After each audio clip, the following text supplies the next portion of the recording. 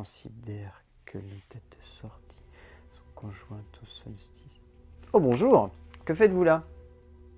Vous aussi vous cherchez la source d'inspiration des romans de Dan Brown? Oh, vous voulez savoir comment j'en suis arrivé là? Eh bien, asseyez-vous car cela risque de prendre un peu de temps.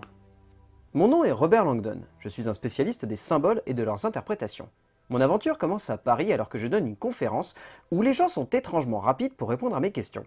Pourriez-vous m'interpréter ce symbole, la première chose qui vous vient Qui se dévoue La haine, le racisme. Le Ku Klux Klan À la fin de celle-ci, la police vient me chercher car le conservateur du musée du Louvre est mort et que je le connaissais.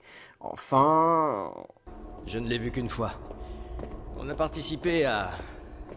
à un débat tous les deux. Bref, rapidement, je me rends compte que des choses clochent sur la scène du crime. Cet homme s'étant mutilé le corps avec des symboles en rapport avec la religion et Léonard de Vinci. Là où les choses sérieuses commencent, c'est quand Sophie, sa petite fille, vient me récupérer et qu'elle m'annonce qu'elle est à la recherche du meurtrier de son grand-père, mais qu'en plus, la police pense que c'est moi. Nous parvenons à échapper à la police dans une voiture d'un ridicule rare.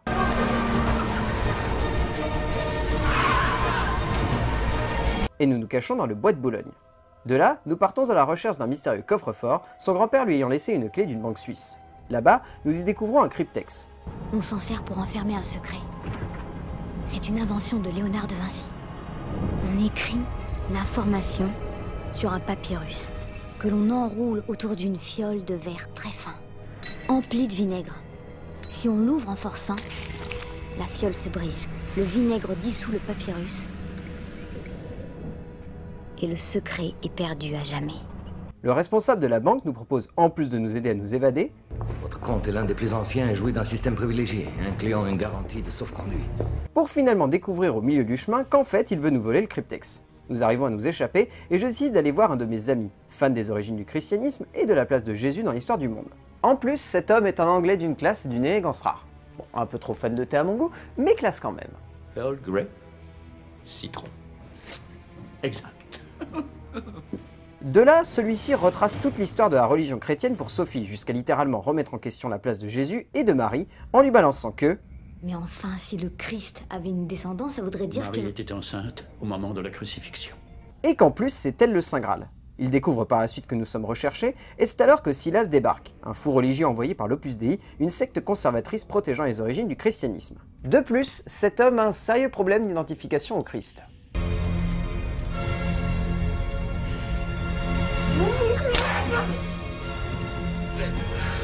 On le met hors d'état de nuire, et nous l'emmenons avec nous. Nous partons en direction de Londres où nous pensons avoir trouvé une piste sérieuse pour trouver le code du cryptex. Là-bas, nous nous perdons dans la ville à la recherche d'une église où Newton est enterré, celui-ci détenant le secret pour ouvrir le cryptex. Nous parvenons à la trouver, et c'est là que nous apprenons que celui qui guidait l'Opus Dei depuis le début à notre poursuite, ainsi que la police, c'était Lee, l'anglais.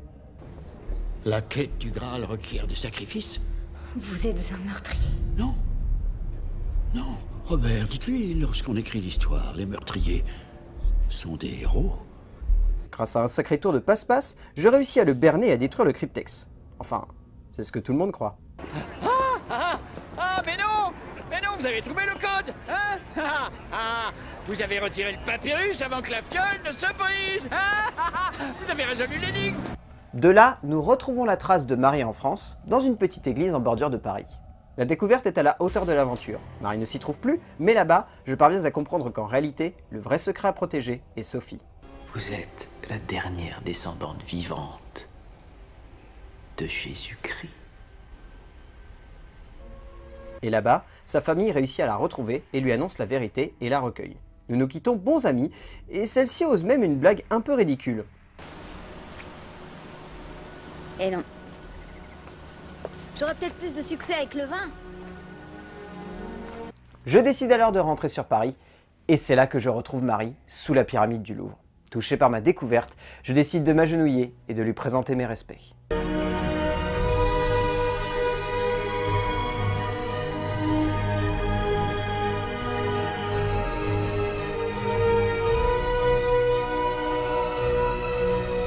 Vous pensez que c'est la fin de mes aventures? Loin de là. Quelques années plus tard, alors que j'enseigne à nouveau à Cambridge, le Vatican vient me chercher afin d'aider la police de la ville à stopper les Illuminati. Oui, les Illuminati, qui ont kidnappé quatre cardinaux. Les favoris parmi les successeurs potentiels du vicaire du Christ. Alors que le pape s'apprête à être élu. Là-bas, je fais la connaissance d'une scientifique, Vittoria, à qui on a volé Cette flasque contient une substance hautement explosive nommée antimatière. Il faut la localiser immédiatement ou faire évacuer les Vatican. et du chef de la police suisse. Ouf, je respire. Notre symbologue est là. Suivez-moi, je vous prie, mademoiselle Petra. qui ne m'a pas à la bonne en vrai.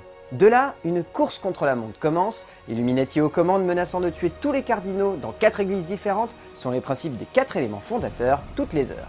Au début, on se loupe un peu. On se plante pour la première église en faisant une jolie visite du Panthéon tout de même. Regarde, regarde, chérie, l'Oculus. Ce pourrait être le trou de Satan du poème. Pour finalement retrouver le premier cardinal dans une petite église où celui-ci est déjà bien mort. Mais la course ne s'arrête pas là et nous découvrons que la deuxième attaque aura lieu sur la place Saint-Pierre. Nous décidons alors de foncer dans le tas et de croiser les doigts pour retrouver le cardinal avant l'heure. Sur place, la chose est quasiment infaisable, mais nous tentons le tout pour le tout. Mais c'est une petite fille qui tombe sur lui agonisant en plein milieu de la place. Avec les deux poumons perforés. À peine avons-nous le temps de constater cela que nous partons à la recherche de la troisième église. J'y vais seul cette fois, Vittoria analysant les dernières notes de son professeur, qui pourrait contenir le nom de l'Illuminati. Alors que nous avons presque failli mourir dans la bibliothèque du Vatican,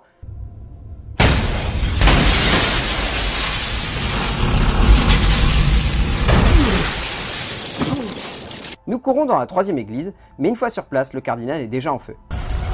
Santo Dio. Et de plus, l'Illuminati est là et est hors d'état de nuire les forces de police. Mais je réussis à m'échapper. La police me retrouve sur place plus tard et je comprends rapidement où se trouvera le dernier cardinal, sur une place avec une fontaine, l'eau étant le dernier élément. Là-bas, je réussis à le sauver in extremis avec l'aide de quelques habitants, et celui-ci me révèle l'endroit où l'Illuminati les a détenus. Où se trouve l'église de l'illumination? Vittoria et moi nous y rendons et parvenons à retrouver la trace de l'Illuminati qui s'avère être un homme de main engagé par de grandes puissances religieuses. Il est très important à leurs yeux que je sache que ce qu'ils demandent est la volonté du Seigneur, ou d'Allah, ou de Yahvé. Mais celui-ci, comme tout bonhomme de main, se fait buter sa mission finie.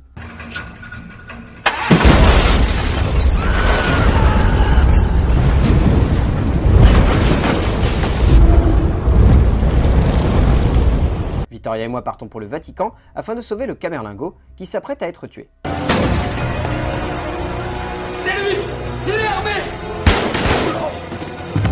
Nous réussissons à le sauver et retrouvons la bombe d'antimatière qui menace d'exploser. Dans un élan d'héroïsme, le Camerlingo réussit à sauver tout le monde, de manière un peu trop classe quand même.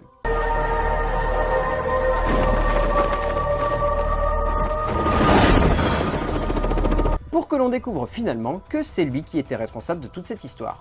Refusant d'affronter la justice, celui-ci décide de s'immoler par le feu au milieu de la chapelle du Vatican.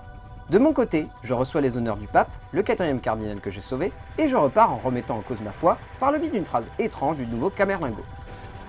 Rendons grâce à Dieu d'avoir envoyé quelqu'un protéger son église.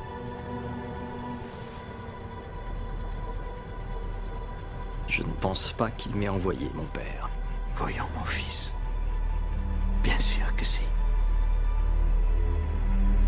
Et c'est ainsi qu'après avoir failli bouleverser les instances religieuses, je les ai finalement sauvés dans un second temps. C'est une sacrée énigme qui se trotte dans la tête de ce Dan Brown, non? Au final, quand même, la seule vraie énigme que je me pose lorsqu'on arrive à la fin de ce diptyque qui va devenir une trilogie, c'est la composition musicale de Hans Zimmer. Parce qu'il est bien gentil à vouloir partir dans des envolées lyriques avec des chœurs et avec des violons, mais ça prend tellement le pas sur récit qu'on ne comprend même pas ce qu'il a envie de faire. Et puis quand on voit que sur Inferno, il a décidé de passer dans une composition électro, on se demande...